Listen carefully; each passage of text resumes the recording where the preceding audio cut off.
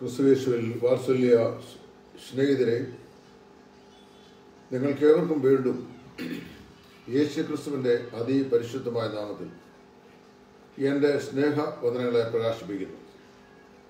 ഇന്ന് സഭാപ്രസംഗയുടെ പുസ്തകം അതിന്റെ പന്ത്രണ്ടാം അധ്യായത്തിൽ നിന്ന് ഒരു ബുദ്ധിമാന്റെ ചില ആലോചനകൾ എന്നുള്ള വിഷയമാണ് പരിമിതമായ വാക്കുകളിൽ ഞാനിവിടെ പറയുവാൻ ദൈവസന്നയിൽ ആഗ്രഹിക്കുന്നു. അതിന്റെ പന്ത്രണ്ടാം അധ്യായം പതിമൂന്നാം വാക്യം ഇങ്ങനെ നാം വായിക്കുന്നു. എല്ലാറ്റിന്റെയും സാരം കേൾക്കുക. ദൈവത്തെ ഭയപ്പെട്ട് അവന്റെ കൽപ്പനകളെ പ്രമാണിച്ചുകൊള്ളുക അതാകുന്നു സകല മനുഷ്യർക്കും വേണ്ടുന്നത്.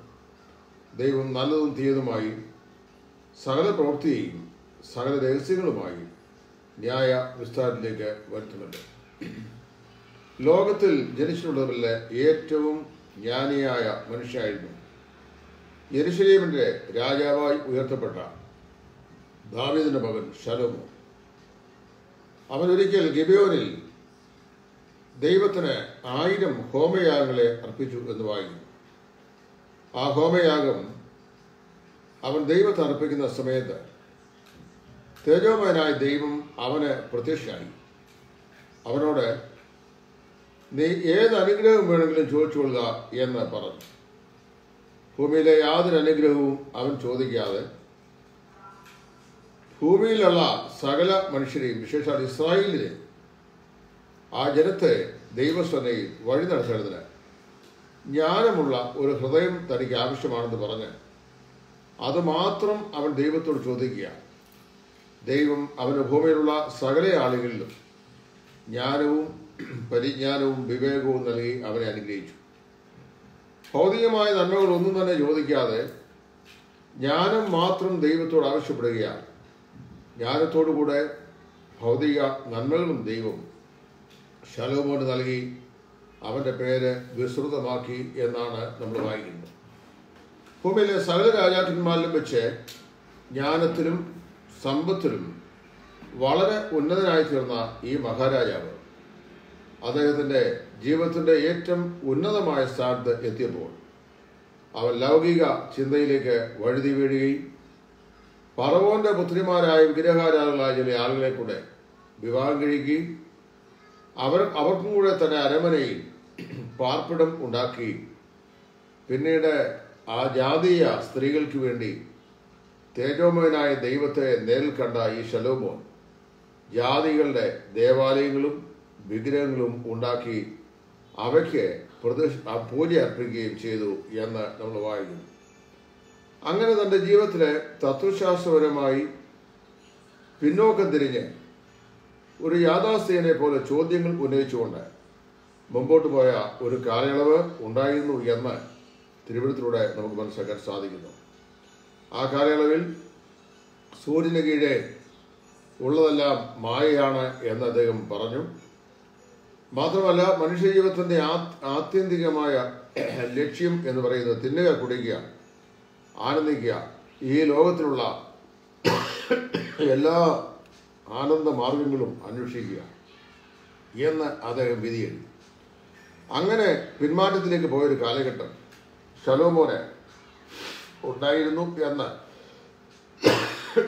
തിരുവഴുത്തിലൂടെ നമുക്ക് മനസ്സിലാക്കുവാൻ സാധിക്കുന്നു. എന്നാൽ ആ കാലഘട്ടങ്ങളിലെ തന്റെ വിചാര വികാര വികാരങ്ങളാണ് സഭാപ്രസംഗയുടെ പുസ്തകത്തിൽ ഈ ശലോമോൻ എഴുതിയിട്ടുള്ളത്. പന്ത്രണ്ട് അധ്യായങ്ങളുള്ള ഈ പുസ്തകം വായിച്ചാൽ ഏത് ബുദ്ധിജീവിയും ഒരു യാഥാസ്ഥിക ചിന്താധാരയിലേക്ക് വഴിതിരിക്കപ്പെടുവാനുള്ള സാധ്യതയുണ്ട്. എന്നാൽ ഇതിന്റെ ഒടുവിലത്തെ അധ്യായത്തിലേക്ക് വരുമ്പോൾ ഈ കാര്യങ്ങളെല്ലാം സൂര്യന് കീഴെയുള്ള സകലത്തെയും ആസ്വദിച്ചനുഭവിച്ച ഈ മനുഷ്യൻ. അദ്ദേഹം പറയുകയാണ് നിന്റെ യൗവനകാലത്ത് നിന്റെ സൃഷ്ടാവിനെ ഓർത്തുകൊള്ളുക. ദുർദിവസങ്ങൾ വരികയും എനിക്കിഷ്ടമില്ല എന്ന് നീ പറയുന്ന കാലം സമീപിക്കുകയും സൂര്യന് വെളിച്ചവും ചന്ദ്രനും നക്ഷത്രങ്ങളും ഇരുണ്ടുപോവുകയും മഴ പെയ്ത ശേഷം മേഘങ്ങൾ മടങ്ങി വരികയും ചെയ്യും മുമ്പേ തന്നെ. ശലോമോൻ ഒരു കാര്യം മനസ്സിലായി. ലോകത്തിലെ എല്ലാ ലൗകിക സുഖങ്ങളും ആവോളം ആസ്വദിക്കുവാൻ കനകാവസരം ലഭിച്ചാൽ അത് ജീവിതത്തിന്റെ ആത്യന്തികതയല്ല. അതിന്റെ അപ്പുറത്ത് മനുഷ്യന് ഇതെല്ലാം കേവലം നിസ്സാരമായി തോന്നുന്ന ഒരു സമയം വരും പ്രതികരിക്കാൻ കഴിയാത്തൊരു സാഹചര്യം സംജാതമാകും എന്ന് അവൻ മനസ്സിലാക്കി. അതിന്റെ മൂന്ന് മുതൽ പന്ത്രണ്ട് വരെയുള്ള വാക്യങ്ങൾ വായിക്കുമ്പോൾ മനുഷ്യ ശരീരത്തിന്റെ ശാസ്ത്രീയമായിരുന്ന ഒരു വിശകലനമാണ് അവിടെ ശലോമോൻ നൽകുന്നത്. അവിടെ ആ അദ്ദേഹം താഴോട്ട് പറയുന്നു സൂര്യന് വെളിച്ചവും ചന്ദ്രനും നക്ഷത്രങ്ങളും ഇരുണ്ടു പോകുകയും മഴ പെയ്ത ശേഷം മേഘങ്ങൾ മടങ്ങി വരികയും ചെയ്യും മുമ്പേ തന്നെ. അന്ന് വീട്ടുകാവൽക്കാർ വിറയ്ക്കും എന്ന് തുടങ്ങി കിണറ്റങ്ങളെ ചക്രം തകരും എന്ന് പറയുന്നവരെ മനുഷ്യ ശരീരത്തിന്റെ ഓരോ അവയവങ്ങളെ സംബന്ധിച്ചുള്ള അതിന്റെ പ്രവർത്തന തത്വം ശലോമോൻ ഇവിടെ വിവരിക്കുകയാണ്. അങ്ങനെ വിവരിച്ച ശേഷം അദ്ദേഹം പറയുന്നു മനുഷ്യൻ തന്റെ ശാശ്വത ഭവനത്തിലേക്ക് പോകും. അതായത് മരണം മനുഷ്യനെ ഈ ഭൂമിയിൽ നിന്ന് വേർപെടുത്തും. മടങ്ങി വരാൻ കഴിയാത്ത ഒരു അന്തരീക്ഷത്തിലേക്ക് സ്വയം മടങ്ങിയെത്താൻ കഴിയാത്തൊരു ജീവിത സാഹചര്യത്തിലേക്ക് മനുഷ്യൻ നിബന്ധിക്കും എന്ന് ശലോമോൻ അവിടെ പ്രസ്താവിക്കുന്നു. ജ്ഞാനികൾ ജ്ഞാനി എന്ന് അറിയപ്പെട്ട ശലോമോന് പോലും ലോകത്തിലെ എല്ലാ ലൗകിക സുഖങ്ങളും അനുഭവിച്ച ശേഷവും ജീവിതത്തിന്റെ ആത്യന്തികമായ സുഖം അല്ലെങ്കിൽ പരമസുഖം ഭൗതിക നന്മയല്ല. അത് എത്രമാത്രം അനുഭവിച്ചാലും മനുഷ്യന് ഒരു അവസാനമുണ്ട് ഈ ഭൂമിയിൽ നിന്ന് അവൻ മാറ്റപ്പെടേണ്ടി വരും എന്ന് അവിടെ അദ്ദേഹം പരസ്യമായി പ്രസ്താവിക്കുകയാണ്. ഇതിനെ എല്ലാം കൂടെ ആകത്തുകയായി കണക്കുകൂട്ടിയിട്ടാണ് പതിമൂന്നാം വാക്യത്തിൽ അദ്ദേഹം പറയുന്നത് എല്ലാത്തിന്റെയും സാരം കേൾക്കുക ദൈവത്തെ ഭയപ്പെട്ട് അവന്റെ കൽപ്പനകളെ പ്രമാണിച്ചു കൊടുക്കുക അതാകുന്നു സകല മനുഷ്യർക്കും വേണ്ടത്. അപ്പോൾ തന്റെ ജീവിതത്തിന്റെ തത്വശാസ്ത്രപരമായിരുന്ന ഇറങ്ങിപ്പോക്കിൽ നിന്ന് സത്യവും യാഥാർത്ഥ്യവും മനസ്സിലാക്കിയ ശലമോ മടങ്ങി അദ്ദേഹം ദൈവകൃപയിലേക്ക് വരികയും യഥാസ്ഥാപനം പ്രാപിക്കുകയും ചെയ്ത ശേഷം അദ്ദേഹത്തിന്റെ കാര്യം മനസ്സിലായി. എല്ലാറ്റിന്റെയും സാരം കേൾക്കുക എന്ന് പറഞ്ഞാൽ ഏത് മതത്തിന്റെയും സാരം കേൾക്കാം. ഏത് തത്വചിന്തയുടെയും സാരം മനസ്സിലാക്കാം. ഏത് ഉപദേശങ്ങളും ശ്രദ്ധിക്കാം. അതിലൊന്നും ഒരു കുഴപ്പമുണ്ടാകുകയില്ല എന്നാൽ അതിന് എല്ലാ ദൈവത്തിന്റെ കൽപ്പനകളെ ഭയപ്പെട്ട് അനുസരിച്ചു കൊള്ളുക അതാകുന്നു സകല മനുഷ്യർക്കും വേണ്ടുന്നത് എന്നാണ് അദ്ദേഹം പറയുന്നത്. അപ്പം നമ്മൾ ഒരു പ്രത്യേക മതത്തിന്റെ പേരിൽ നിന്ന് ഇപ്പം ക്രിസ്ത്യാനികൾ ക്രിസ്തീയ വിശ്വാസത്തിന്റെ പേരിൽ നിന്ന് വേദപുസ്തകം മാത്രം വായിക്കുകയും മറ്റ് യാതൊരു ഗ്രന്ഥങ്ങളും വായിച്ച് മനസ്സിലാക്കാൻ ശ്രമിക്കാതിരിക്കുകയും ചെയ്താൽ നമുക്ക് ആകെയുള്ള അറിവ് ക്രിസ്ത്യാനിറ്റിയുടെ വിശ്വാസ പ്രമാണങ്ങൾ മാത്രമായിരിക്കും.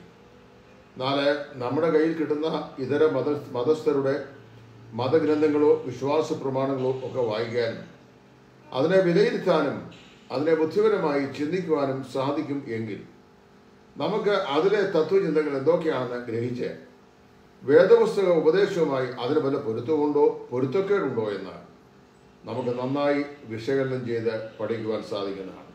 അതുകൊണ്ടാണ് ശലോമൻ പറയുന്നത് എല്ലാറ്റിന്റെയും സാരം കേൾക്ക. ദൈവത്തെ ഭയപ്പെട്ട് അവന്റെ കൽപ്പനകളെ പ്രമാണിക്കുക. ലോകത്തിൽ ഏറ്റവും അതിപ്രധാനമായ വിഷയം ലൗകിക സുഖങ്ങളുടെ പിന്നാലെ പരക്കം പായുന്നതല്ല. പിന്നെ യൗവനകാലത്തെ ഭാര്യയുടെ കൂടെ സന്തോഷിക്കുന്നതല്ല. സകല സമ്പത്തും കൊണ്ടും വസ്തുവകൾ നേടുന്നതല്ല ഭൗതികമായ ലൗകികമായ അറിവും വിദ്യാഭ്യാസവും സമ്പാദിക്കുന്നതല്ല ഇതൊന്നും വേണ്ട എന്ന് ശലുമോൻ പറയുന്നില്ല. അതൊക്കെ നമുക്ക് ഒരു പക്ഷെങ്കിൽ ആവശ്യമാണ്. എന്നാൽ അദ്ദേഹം പറയുന്നത് ദൈവത്തെ ഭയപ്പെടുക. അതാണ് അതിപ്രധാനമായി ഉള്ള ആവശ്യതകളിൽ ഒന്നാമത് വരുന്നത്. ദൈവത്തെ ഭയപ്പെടുക എന്ന് പറഞ്ഞാൽ ദൈവം സൃഷ്ടിതാവാണെന്നും ദൈവം സംരക്ഷകനാണെന്നും ദൈവം ദൈവം രക്ഷിതാവാണെന്നും മനസ്സിലാക്കി ദൈവത്തെ ഭയപ്പെടുക എന്നാണ്. ദൈവത്തെ ഭയപ്പെടുക അവന്റെ കൽപ്പനകളെ പ്രമാണിച്ചു കൊടുക്കുക. കൽപ്പനകളെ ലംഘിച്ച് ജാതീയ സമ്പ്രദായങ്ങളിലേക്കുള്ള പൂജയും ആരാധനയുമായി ഇറങ്ങിപ്പോയ ശലോമോന് നിശ്ചയമായും തന്റെ ജീവിതത്തിന്റെ വഴുതിപ്പോക്കിനെ കുറിച്ച് വ്യക്തമായി മനസ്സിലാക്കിയിരുന്നു. ആ കാലഘട്ടങ്ങളിൽ തനിക്കുണ്ടായ നഷ്ടങ്ങൾ എന്തൊക്കെയാണെന്ന് ശലോമോൻ വ്യക്തമായി വിധിയെഴുതിയിട്ടുണ്ട്. അദ്ദേഹം പറയുകയാണ് ദൈവത്തിന്റെ കൽപ്പനകളെ പ്രമാണിക്കുക. ഈ ഭൂമിയിലെ ഏറ്റവും വലിയ മനുഷ്യൻ അല്ലെങ്കിൽ ഏറ്റവും ബുദ്ധിമായ മനുഷ്യൻ ആരാണ് ചോദിച്ചാൽ ദൈവകൽപ്പന പ്രമാണിക്കുന്നവൻ എന്നേ പറയാൻ കഴിയുള്ളൂ. അതുകൊണ്ടാണ് ദഹോവയെ ഭയപ്പെട്ട് അവന്റെ വഴിയിൽ നടക്കുന്ന ഏവനും ഭാഗ്യവാൻ. നിന്റെ കൈകളുടെ അധ്വാനഫലം നീ തിന്നും നീ ഭാഗ്യവാൻ നിനക്ക് നന്മ വരും എന്ന് സങ്കേതക്കാൻ പറയുന്നു. ദൈവത്തെ ഭയപ്പെട്ട് അവന്റെ കൽപ്പനകളെ അനുസരിക്കുക. സകല മനുഷ്യർക്കും ആവശ്യമായത് ഇതാണ്. ലോകത്തിലെ ഓരോ വ്യക്തികൾക്കും ഓരോ സമൂഹത്തിനും ഓരോ സാംസ്കാരികതയ്ക്കും അവരുടെ ജീവിതത്തിലെ ആവശ്യങ്ങളുടെ പ്രിഫറൻസ് ഉണ്ട്. അതായത് ചില ആളുകൾക്ക് പ്രിയപ്പെട്ടതായി തോന്നുന്നത് നമുക്ക് അപ്രിയമായിരിക്കാം. ചിലർക്ക് വിലപ്പെട്ടതായി തോന്നുന്നത് നമുക്ക് വില കുറഞ്ഞതായിരിക്കാം ചിലർക്ക് അനിവാര്യം എന്ന് തോന്നുന്നത് നമുക്ക് ആവശ്യമില്ലാത്തതായിരിക്കാം. ചിലർ കൂടുതൽ താല്പര്യം കാണിക്കുന്നതിനോട് നമുക്ക് അശേഷം ഇഷ്ടം തോന്നുകയില്ല. ഇതൊക്കെ സ്വാഭാവികമാണ് എന്നാൽ സകല മനുഷ്യർക്കും ആവശ്യമായത് ഒന്നാണ്. ദൈവത്തെ ഭയപ്പെട്ട് അവന്റെ കൽപ്പനകളെ പ്രമാണിക്കുക എന്നുള്ളത്. അപ്പോൾ ദൈവത്തെ ഭയപ്പെട്ട് അവന്റെ കൽപ്പനകളെ പ്രമാണിക്കുന്ന ഏത് മനുഷ്യനും ദൈവസനയിൽ ഭാഗ്യവാനാണ്. ഇനിയും ശലോമോൻ മറ്റൊരു കാര്യം കൂടെ വളരെ സുപ്രധാനമായി പറയുന്നു. ദൈവം നല്ലതും തീയതുമായി സകല പ്രവൃത്തിയിൽ സകല രഹസ്യങ്ങളുമായി ന്യായവിസ്താരത്തിലേക്ക് വരുത്തുന്നുണ്ട്. മനുഷ്യനെ ദൈവം ന്യായവിസ്താര സഭയിലേക്ക് കൂട്ടിക്കൊണ്ടുവരും. ആരുടെ ന്യായവിസ്താര സഭയിലേക്ക് ദൈവത്തിന്റെ ന്യായവിസ്താര സഭയിലേക്ക് അപ്പോൾ നമ്മുടെ ഈ ലോക ജീവിതത്തിന്റെ അങ്ങേ തലയ്ക്ക് അതായത് മരണത്തിന് അപ്പുറത്ത് നമുക്കൊരു വലിയ ന്യായവിസ്താരമുണ്ട്. ആ ന്യായവിസ്താരം എന്താണെന്ന് വേദവസ്തു സ്പഷ്ടമായി പറഞ്ഞിട്ടുണ്ട്. പെരുന്നിരക്ക് എഴുതിയ രണ്ടാം ലേഖനം അഞ്ചാം അധ്യായത്തിന്റെ പത്താം വാക്യവും റോമാലേഖനം പതിനാലാം അധ്യായത്തിന്റെ പത്താം വാക്യവും എന്താണ് ആ ന്യായവിസ്താരം എന്ന് തെളിവായി പറയുന്നു. അവിടെ പറയുകയാണ് അവനവൻ ശരീരത്തിരിക്കുമ്പോൾ ചെയ്തത്. നല്ലതാകിലും തീയതാകിലും തക്കവണ്ണം പ്രാപിക്കേണ്ടതിന് നാം എല്ലാവരും ക്രിസ്തുവിന്റെ ന്യായാസനത്തിന് മുമ്പാകെ നിൽക്കേണ്ടതാകും കർത്താവിന്റെ ന്യായാസനം എന്ന് പറയുന്ന ഒന്നുണ്ട്. ആ ന്യായാസനം മുമ്പാകെ ഞാനും നിങ്ങളും നിന്ന് കണക്ക് ബോധിപ്പിക്കേണ്ട ഒരു ദിവസം വരുമെന്ന് ബൈബിൾ വളരെ വ്യക്തമായി പറയുന്നു. അപ്പൊ ദൈവം അങ്ങനെ ചെയ്യും. അതായത് മനുഷ്യന്റെ എല്ലാ പ്രവൃത്തികളെയും മനോഭാവങ്ങളെയും വിധികളെയും അവന്റെ അവന്റെ വിധി വിധിന്യായങ്ങളെയും അവന്റെ മനോഭാവത്തെയും എല്ലാം ദൈവം ന്യായം ദൈവത്തിന് ന്യായവിസ്താര സഭയുടെ ഒരു മുമ്പാകെ വരുമ്പോൾ നമുക്ക് ശരിയെന്ന് തോന്നിയതും അതേസമയത്ത് ദൈവസ്ഥാനിൽ തെറ്റായിരുന്നതുമായ കാര്യങ്ങളെ തെറ്റായിരുന്നു എന്ന് ദൈവം വെളിപ്പെടുത്തും. അന്ന് കർത്താവിന്റെ വചനം പറയുന്നത് ഓരോരുത്തർ അവരുടെ സന്നിധിയിൽ പുകഴ്ചയുണ്ടാവും എന്നാണ്. അപ്പോൾ ദൈവസന്നിധിയിൽ നമുക്ക് പുകഴ്ചയുണ്ടാകണം എന്നുണ്ടെങ്കിൽ കർത്താവിന്റെ ന്യായവിസ്താര സഭയുടെ മുമ്പായി നിൽക്കുമ്പോൾ ലജ്ജിക്കാൻ ഇടയാകാതിരിക്കണമെന്നുണ്ടെങ്കിൽ നിശ്ചയമായും ദൈവത്തെ ഭയപ്പെട്ട് അവന്റെ കൽപ്പനകളെ പ്രമാണിക്കുന്നത് നമ്മുടെ അനിവാര്യതയാണ്. അതാണ് വേദോത്സവവും വളരെ വ്യക്തമായി പറയുന്നത്. ഈ ഭൂമിയിൽ നിന്ന് ജീവിക്കുമ്പോൾ ദൈവത്തെക്കുറിച്ചൊക്കെയുള്ള ചിന്തയും മനോബോധവും വളരെ കുറച്ച് ആൾക്കാർക്ക് മാത്രമേ ഉള്ളൂ. അതായത് ദൈവം പരിശുദ്ധനായ ദൈവം ആ ദൈവമാണ് ഇതിന്റെ സൃഷ്ടികർത്താവ്. അവൻ നമ്മുടെ പരിപാലകനാണ്. അവനാണ് നമ്മെ സൂക്ഷിക്കുന്നത്. അവനാണ് നമുക്ക് രക്ഷ ഒരുക്കിയത്. അവനാണ് മരണത്തിനപ്പുറത്തുള്ള ശാശ്വത ഭവനം നമുക്ക് വേണ്ടി ഒരുക്കിക്കൊണ്ടിരിക്കുന്നത് എന്ന് ദൈവ വചനത്തിലൂടെ മനസ്സിലാക്കിയാൽ മാത്രമേ വാസ്തവത്തിൽ നമുക്ക് ദൈവത്തെ ഭയപ്പെടുവാനും ദൈവകൽപ്പനകളെ പ്രമാണിക്കുവാനും സാധിക്കൂ. അല്ലാത്ത ഒരു ജീവിത സാഹചര്യം നമുക്ക് ദൈവത്തെ ഭയപ്പെടുവാനും ദൈവത്തെ ആ, കൽപ്പനകളെ പ്രമാണിക്കുവാനുള്ള ത്വര നമ്മുടെ ജീവിതത്തിൽ ഉണ്ടാവുകയില്ല. ശലോമോനെ തന്റെ ജീവിതത്തിന് നല്ലൊരു കാലം ഒരു വിശ്വാസ ത്യാഗിയെ പോലെ അല്ലെങ്കിൽ അവർ പിന്മാറ്റക്കാരനെ പോലെ ചെലവഴിച്ച ശേഷം നമ്മൾ വായിക്കുന്നത് ദൈവത്തിലേക്ക് അവ അവൻ യഥാസ്ഥാനപ്പെട്ടു എന്നാണ്. ആ യഥാസ്ഥാപനത്തിങ്കൽ അവരുടെ സത്യം കണ്ടെത്തി ദൈവത്തെ ഭയപ്പെട്ട് അവന്റെ കൽപ്പനകളെ പ്രമാണിക്കുന്നതാണ് മനുഷ്യന് വേണ്ടത് ഏത് മനുഷ്യന്റെയും ജീവിതത്തിന്റെ അനിവാര്യത അതാണ്.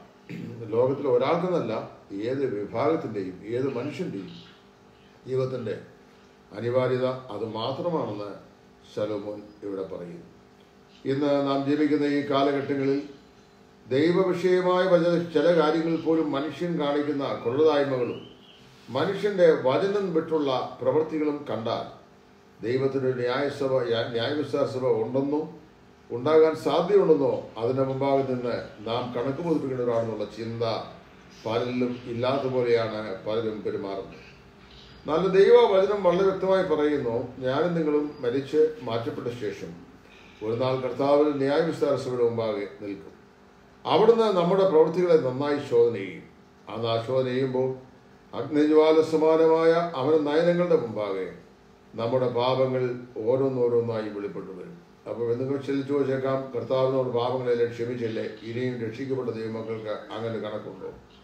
രക്ഷിക്കപ്പെടുന്നത് വരെയുള്ള നമ്മുടെ എല്ലാ പാപങ്ങളും കർത്താവ് നമ്മൾ ക്ഷമിച്ചു. എന്നാൽ രക്ഷിക്കപ്പെട്ട ശേഷം നമ്മുടെ ജീവിതത്തിൽ അറിഞ്ഞുകൊണ്ടോ അറിയാതെയോ നാം ചെയ്തു പോയ അല്ലെങ്കിൽ ചിന്തിച്ചു പോയ പ്രവർത്തിച്ചു പോയ എല്ലാ പാപങ്ങൾക്കും ദൈവം നിശ്ചയമായും അവിടെ വെച്ച് നമ്മെ ന്യായം വിസ്തരിക്കുകയും അതിനനുസരണമായി അവിടുന്ന് നന്മയോ തിന്മയോ നമുക്ക് പ്രതിഫലമായി നൽകുകയും ചെയ്യും. ആകയാൽ ബുദ്ധിമാനായ ശലോമോൻ നമ്മെ ബുദ്ധി പ്രദർശിക്കുന്ന പോലെ എല്ലാറ്റിന്റെയും സാരം കേൾക്കുക ദൈവത്തെ ഭയപ്പെടുക അവന്റെ കൽപ്പനകളെ പ്രമാണിക്കുക. ഇതായിരിക്കട്ടെ നമ്മുടെ ക്രിസ്ത്യ ജീവിതത്തിന്റെ ആത്യന്തികമാകുന്ന ലക്ഷ്യം ഉദ്ദേശം സമർപ്പണം. ദൈവം അതിനായി നമ്മേവരെയും ഒരുക്കട്ടെ. ക്രിസ്തുവിൽ നിങ്ങളുടെ സുവിശേഷകൻ കൈതസ്വം ഇടയാറുണ്ട്.